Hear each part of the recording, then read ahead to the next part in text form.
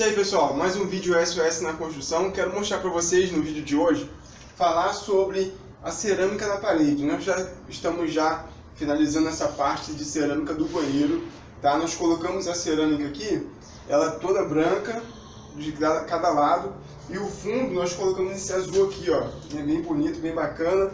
Mas só que houve uma diferença de, de tamanho. Pessoal, essa cerâmica aqui, ela tá com tamanho um centímetro é, menor do que essa aqui. O que a gente faz nesse caso? Vocês podem observar aqui, ó, ela não deu o tamanho aqui, tá vendo? Ela bem reta aqui, ó, não deu também a, a, a direção né, da nossa nosso rejunte, aqui também não, nem do lado de cá, né? Claro. Então o que, que a gente faz, pessoal, nessa hora? Por onde iniciar, o que fazer? Devo cortar essa peça? Não, pessoal, não precisa cortar a peça. A única coisa que tem que fazer é seguir a primeira peça de cima. Tá? Se eu estou saindo com a minha cerâmica da parte de cima, aí em cima vocês podem observar que está tudo certinho, tudo alinhado.